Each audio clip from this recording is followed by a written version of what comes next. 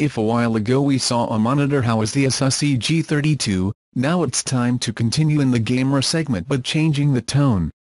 And is that another of the monitors that Asus has led to Computex 2018 bits on the curve and a 32, 9 aspect ratio that does not go unnoticed.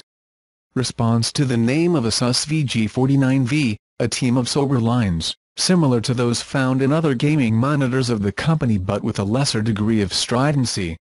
A curved monitor with few bevels although given its size, it does not seem that the multi-screen configuration is so important. And we do not have to stop thinking that we are facing a monitor with a 49-inch screen. A monitor mounted on a curved panel 1800R VA type which offers a striking DFHD double full HD resolution, which, if we pass it to numbers leaves us with a figure of 3840 x 1080 pixels.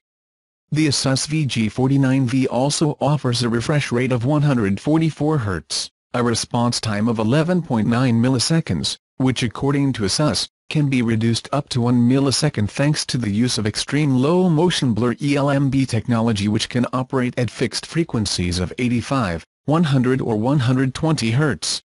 In terms of connectivity the Asus VG49V offers a DisplayPort 1.2 port and two HDMI 2.0 inputs